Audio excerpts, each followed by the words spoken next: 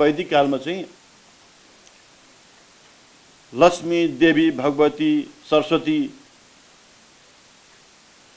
जसरी समाजलाई न्याय सम्पादन गर्थे न्याय प्रदान गर्थे जहाँ जहाँ चुनौतीहरू आउँथ्यो जहाँ जहाँ सङ्कटहरू आउँथ्यो जहाँ जहाँ अप्ठ्याराहरू आउँथे जहाँ जहाँ समाजभित्र चाहिँ मानव जातिमा चाहिँ सङ्कटहरू आउँथे त्यति बेला यी स्वरूपहरू प्रकट हुन्थ्यो र न्याय सम्पादन गर्थे हामीले बुझेका छौँ।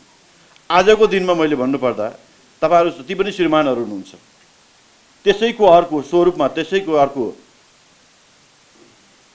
बिम्बको रूपमा तपाईँहरू आउनुभएको छ। त्यही ढङ्गले तपाईँहरूले न्याय सम्पादन गर्नुपर्छ सिङ्गो समाजले तपाईँहरूसँग त्यो अपेक्षा गरेको छ भन्ने म ठान्दछु। र अर्को कुरा भन्न झिचाउनु पर्ने कुरा छ भन्ने लाग्दैन। न्याय सम्पादन सधैँ सही हुन्छ भन्ने पनि मलाई लाग्दैन। न्याय सम्पादन सधैँ सही नै हुन्छ भन्दै हुन्थ्यो हाम्रो सपना प्रधान मान्यज्यूले कहिले कहिले त्यसमा कमीहरू रहन सक्छन् होला।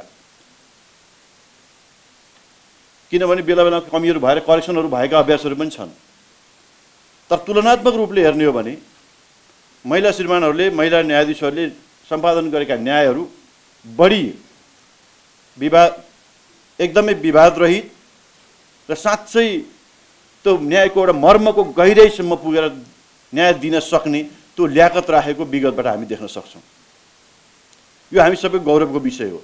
हामीले राज्यको सिँगै पुनर्संरचना गऱ्यौँ नयाँ संविधान जारी गऱ्यौँ राज्यका सबै निकायहरूमा समानुपातिक प्रतिनिधित्वको कुराहरू गऱ्यौँ राज्यका सबै क्षेत्रमा समानुपातिक प्रतिनिधित्वको कुराहरू हामीले गरेका छौँ तर अहिले पनि न्यायको क्षेत्रमा हामीले जसरी न्यायाधीशहरूको हामीले नेतृत्व प्रदान गर्नुपर्ने हो त्यसमा अझै हाम्रा धेरै कमीहरू रहेका छन् यो यथार्थ हो। आजको दिनमा पनि दस पोइन्ट पाँच प्रतिशत मात्रै भनेर अहिले आँकडा मैले सुने यो अत्यन्त कम हो।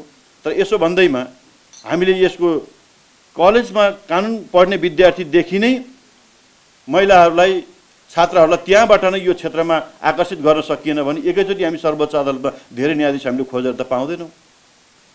तर पछिल्लो समयमा एउटा खुसीको कुरा के छ भने कलेजहरूमा पनि उल्लेख्य मात्रामा महिलाहरूले कानुनका विद्यार्थीहरू हामी पाउँछौँ।